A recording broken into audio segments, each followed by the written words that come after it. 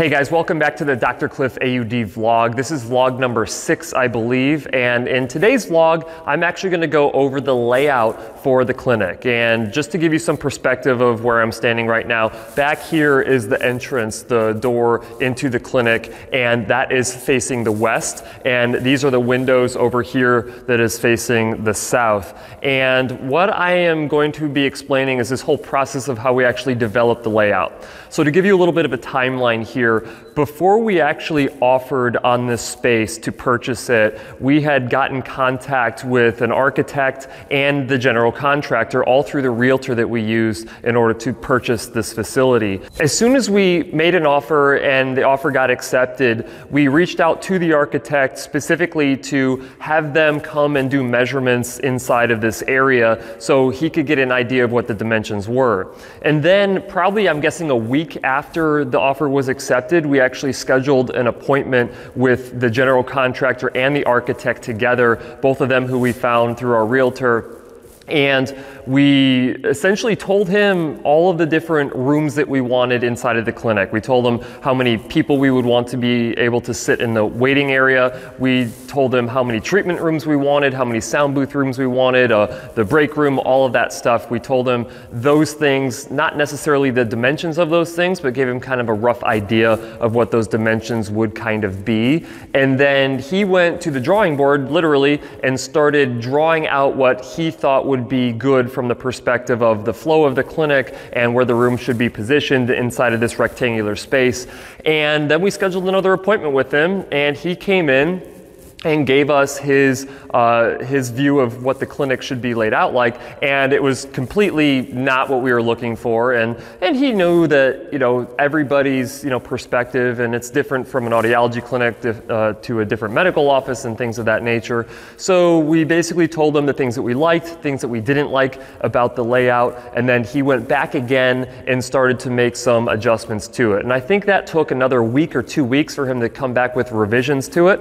Uh, and then he met us at our place and went over them again, and it still wasn't exactly what we were looking for. And so at that point, he basically gave us a blank canvas for us to start doing our own uh, drawings on. And so this right here, I don't know how well you're gonna be able to see this.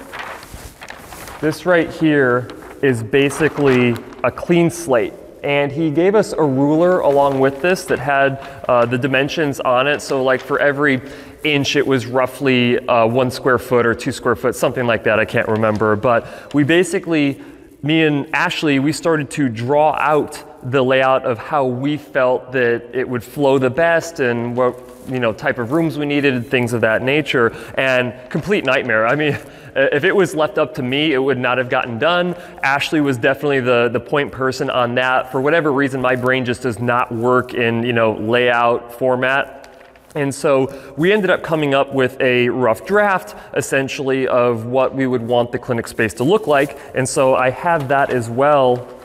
Again, I don't know how well you're going to be able to see this, but this is basically what we came up with a bunch of pencil drawings and uh, basically guesstimates of what this space would essentially look like. And then we had the architect come by again uh, so we could explain this and show it to him and then send him home with this ultimately. And then another week or two later, he sent us the, the digital drawings of it. And so I'm actually going to do an overlay of these digital drawings so you can see what the final layout of the clinic is. So when you walk in the main door, you can see that there's a small space before you actually hit that front counter, which is where the reception area will be. And then immediately to the right, you have a decent sized waiting area that's gonna have enough room for about 10 to 12 chairs.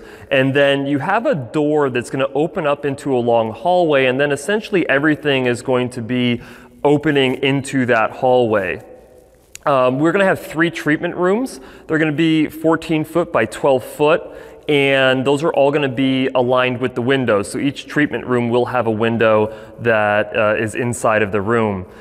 Inside of the reception area, there's going to be a check-in, check-out space, and then on the far left-hand side, you can see here, we're going to have a manager's office where there's going to be two spots, one for the office manager, probably one for Ashley, and then on the other side of that, we're gonna have two restrooms. So we'll have a male and female restroom. As you keep working further down that hallway, we have two rooms that are designated for sound booths but I'm not quite sure we're gonna put two sound booths in. We might just do one sound booth since it's not really a room that we use uh, uh, very often because it's usually only doing initial hearing tests and follow-up hearing tests. But other than that, we don't do a whole lot inside of those rooms. So we might see if we can just have one of those rooms be a sound booth room and then utilize that other room as extra space to do other things in.